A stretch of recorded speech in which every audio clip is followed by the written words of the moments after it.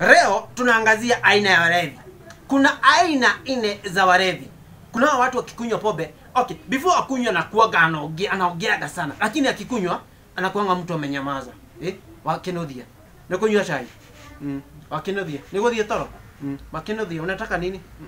Yaani ananyamaza. Na kuna hii aina nyingine ya hii aina ya pili ya walevi hawa ni watu wenyewe mtu anakuanga amenyamaza lakini akikunywa anaongea sana na huwa anapinga kila kitu mimi nasema mimi sijalewa nakaa kama nimelewa nakaa kama nimeguza kitu mimi. Mimi sijalewa na mimi nasema kwanza hii BBI hii BBI hii BBI hii itapita. Doesn't matter when where lakini hii BBI itapita katikati yao.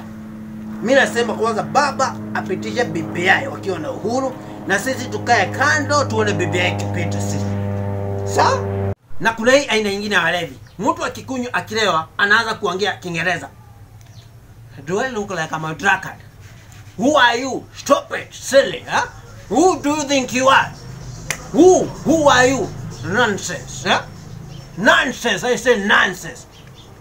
Na, ku, na hii aina ingine ya walevi, mlevi akikunywa anaanza kuhubiri. Hawa ni watu wenye walikuwa wameokoka wakaanguka wakarudi waka, kwa ulevi. When Jesus went to Cana of Galilee, who called Jerusalem there, he changed water to wine. And when he changed water to wine, people drank. And when they drank wine, they became drunkard. No. Now I say, it's not me. Jesus started it, you know? And the Bible says Jesus wept. I feel like weeping, you know? I feel like weeping. And you know, being a Christian is not bad. As long as it's, not, it's in heart. I'm not Christian mouth, that's why I drink, you know? I say that